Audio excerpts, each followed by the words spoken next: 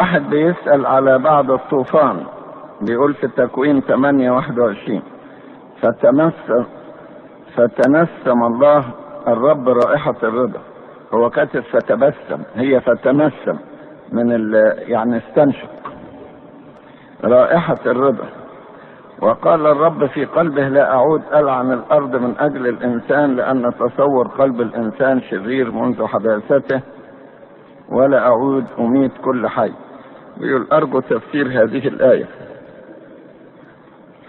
لعنات كثيرة حلت على الأرض لكن لعنة الطوفان كانت لعنة الإفناء والإبادة.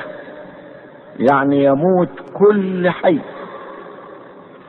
كل حياة حياة إنسان حياة نبات حياة حيوان.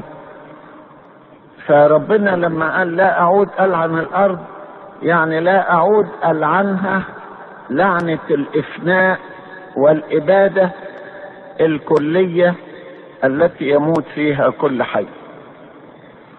لكن الأرض ياما أخذت لعنات أخرى لكن مش لعنة الإبادة.